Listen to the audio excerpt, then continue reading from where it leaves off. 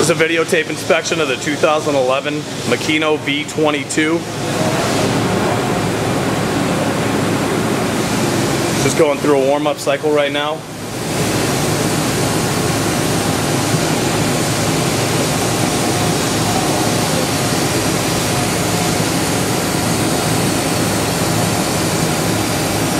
Spindle's only at 3,000 RPM. We'll go ahead and ramp it up here in a minute.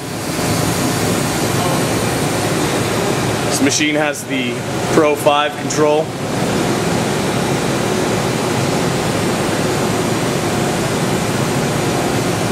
Go ahead and take a walk around the machine real fast.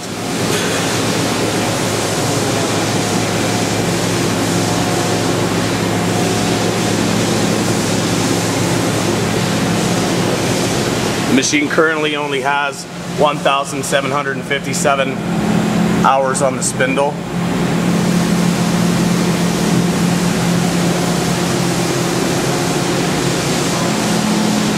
Machine also includes the mist collector and the spindle chillers. Go ahead and walk around. There's a shot of the spindle chillers. Then we'll go ahead and go around, go back into here.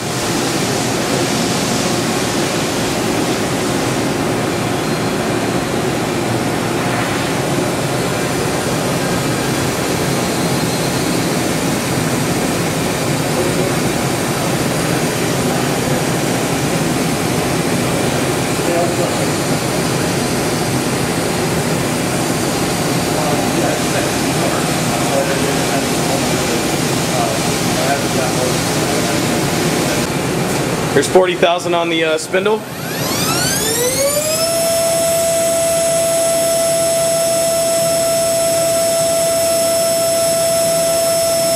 As you can tell, it's quiet. Go ahead and get in there a little closer.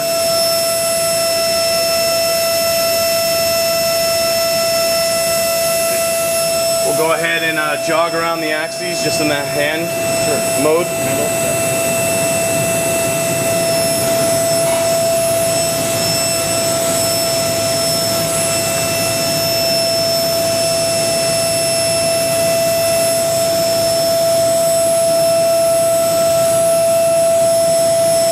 we uh, kill the spindle.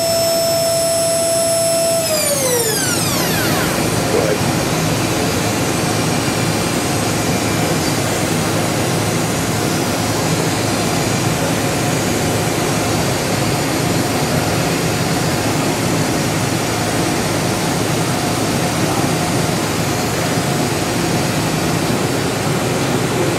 And this concludes the videotape of the inspection of the 2011 V22.